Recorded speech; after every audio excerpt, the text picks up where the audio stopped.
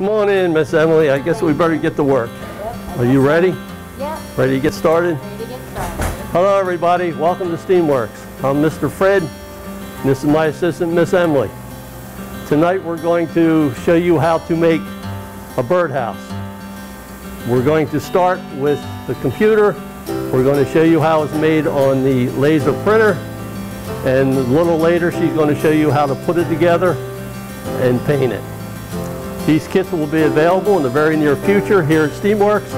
They will include the birdhouse parts and the paint kit and everything you need to make your own ornament. You ready to get started? All right, let's go. We start off with designing our project. Here's the design of the birdhouse. Here's your grooves. Here's the front and back, both your sides and the bottom and the little perch. After designing it here, we send it to the printer, which in this case is our laser printer located on the other side of the room. Once we get it all set up to print, we send it to the printer, and we go over to the printer and we get started. So what I like to do first is I like to make sure I have all my pieces. So want to make sure that we have our base.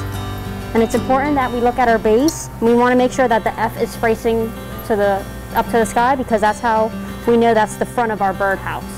Because if you put it on the back, it won't fit. So then we have we need to make sure that we have two sides. We have our little perch. We need to make sure we have our front and the back sides and the roots. So what I like to do, I like to work from the bottom up. So we're going to take take our base, make sure that the F is facing forwards, and we're going to make sure that we take the side with the hole in it, and we're going to just clip it on.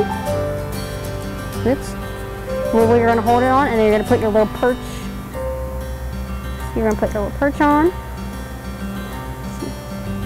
Then we're going to take our two sides. And it's going to be a tight fit and that's good. So don't worry about it. All right. Then we're going to make sure that we put our backside on now. And the roofs.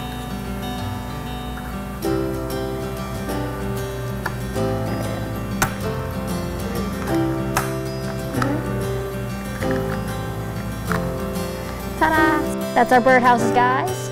Um, in your kits, you'll also be receiving paints and paintbrushes.